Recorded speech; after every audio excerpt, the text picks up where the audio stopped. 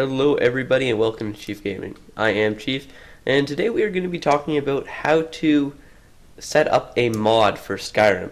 Uh, you'll be wanting to use the Nexus Mod Manager. It's easier than just running around with files. And uh, today I'm going to be showing you how to install and use the Nexus Mod Manager. Uh, first you want to Google Nexus Mod Manager. It should be the first hit. I apologize, my internet was a little slow on the day of recording. And um, Nexus Mod Manager is essentially something that just helps you organize your mods, install them, uninstall them, so you don't have to fidget around with 7-zip and WinRAR files. Makes it easier to delete, easier to install, easier to see when there's an update. It just kind of brings it all together.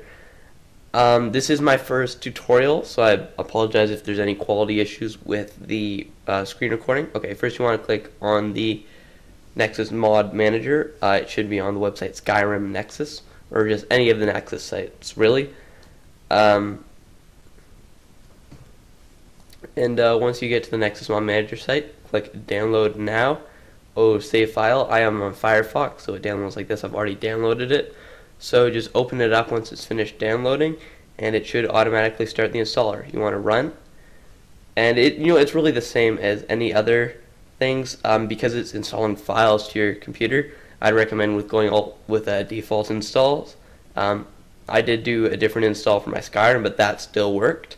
So I think it it's good. So you want to open it up, but first, sometimes when you open it up, it says uh, you don't have the right privileges. So what you want to do is to go into uh, properties, go into security, or I'm not sure what that says, but make it so it's always running as administrator. Uh, it'll always ask you, do you want to run this as administrator? Uh, the first time you start it up usually and you want to say yes.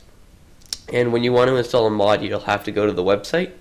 Uh, in this case, it's Tytanis Mod. You can just Google Tytanis Mod, and or you could just go to Skyrim Nexus. There's a lot of different ways you can look for mods. There's the top 100 mods. There's recently added files.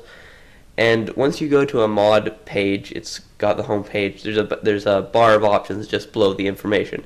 There is um, the change log and all the information about the mod. There's files, that's what you're going to want.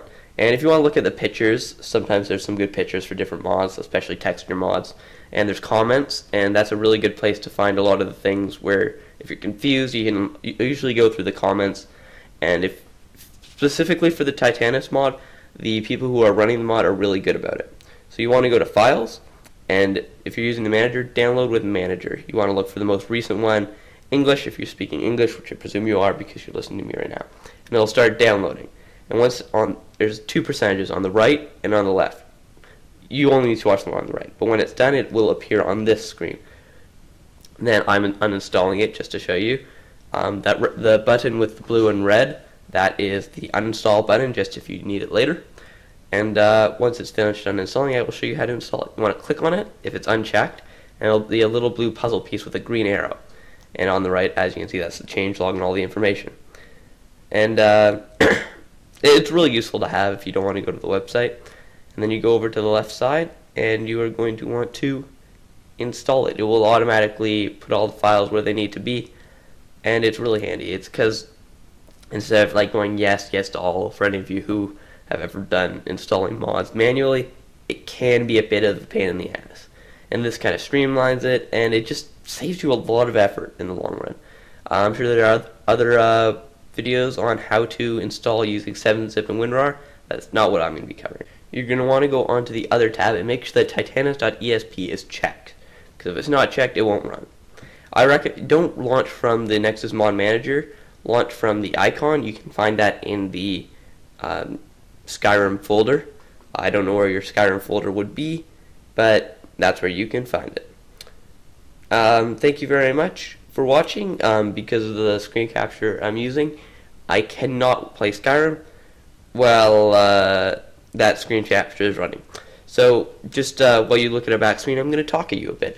Um, to make sure your mod's installed, I recommend going to right, Whiterun and uh, go walk past Adrianne Avenicci and go to either the smelter or the smithing table and check to see what you can smith because if you can smith all kinds of fancy stuff then you know the mod's working right uh, thank you very much for watching please like subscribe and comment if you have any questions and I will do my best to answer them Thank you very much. Have a good one.